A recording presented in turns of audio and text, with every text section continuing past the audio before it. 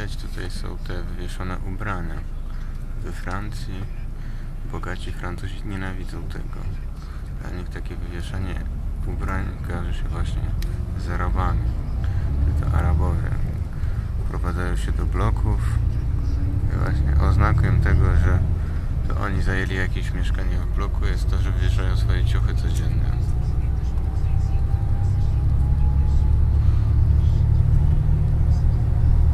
Ale kurde, niektóre z tych bloków to nie niezła, niezła wiocha. Na przykład tak. A to, to jest właśnie te Takie takie brudne, stare. ślepe podążanie za No, zachodem. widziałam takie na brudnie, takie bloki jak to. Wszystko to, co na zachodzie, to lepsze. Michał, ale takie bloki są na brudnie. Nie no, ja, Boże, to są jakieś...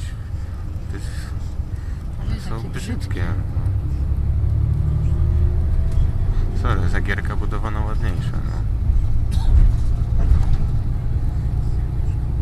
Tutaj jest wyższość Polski Ludowej nad Salazarem.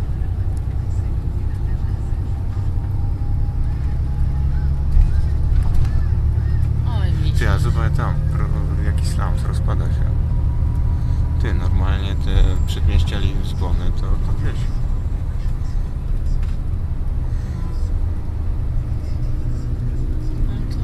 Ty, a zobacz to.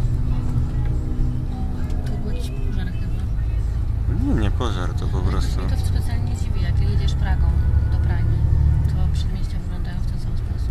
Sorry, w, w, w stolicy Korei Północnej nie ma takich Michał, tych... byłeś kiedyś w Korei Północnej? Nie, ale widziałem, widziałem.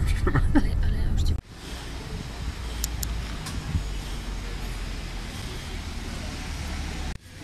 Co? Nie podoba Ci się tutaj? Czy przyszłaś być tutaj po zmroku? Dlaczego? Bo tutaj patrząc, że to ci obleśnie już Więc cały czas idziemy po slumsach, a tam na tyle jest jakiś zamek i tam się zbliżamy. Ale od kilku metrów cały czas ciągle slumsy. Więc idziemy po schodach, a nad nami będą wiszą kieluchy. Dumnie powiewa flaga Portugalii. Jest tam na górze jakiś kościół. A tutaj budynek właśnie przed kościołem.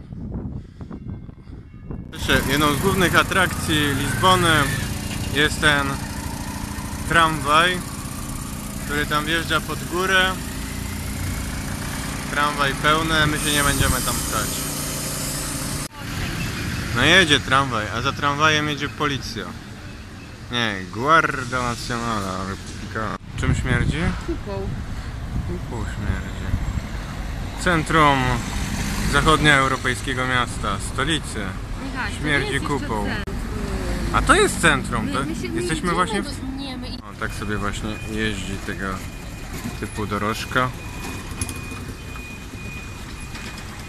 Więc towarzysze, ja siedzę sobie na ławce koło jakiegoś kościoła. No i tutaj ta ławka, naprzeciwko są budynki mieszkalne. Więc cały czas, cały czas slumsy, jak widać tutaj właśnie wystają takie ten.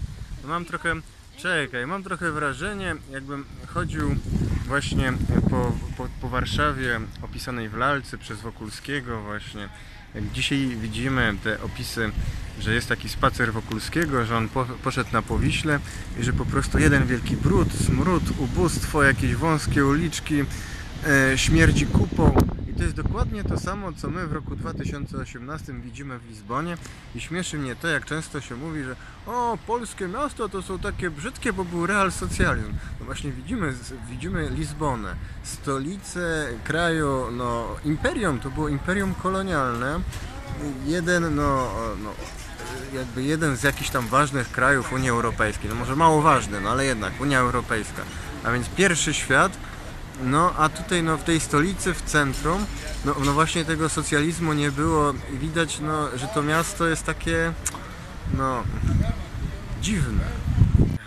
Więc tak, no tutaj no e, no oczywiście, no miasto jest na wzgórzach, więc ma to swoją specyfikę.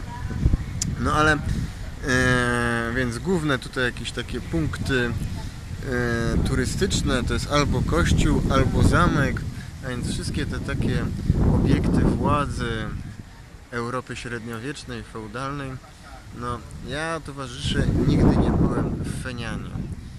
ale miasto, które tam widać właśnie na filmikach, właśnie tak jak wygląda stolica Korei Północnej, jeśli my to porównamy z Lizboną, to po prostu nie była ziemia. No tutaj jest brud, smród i syf, a, a w Fenianie no jest po prostu wszystko jest ładne, wszystko jest proste, jest dużo przestrzeni, są parki, jest zieleń.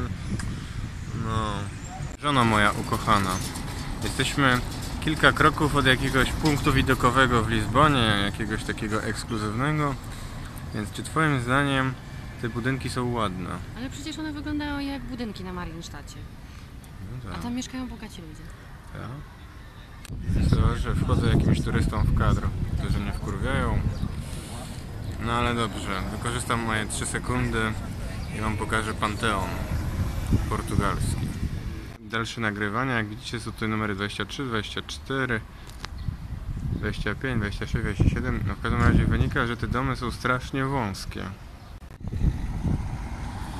Czyli sportem narodowym Portugalczyków jest wieszanie ubrań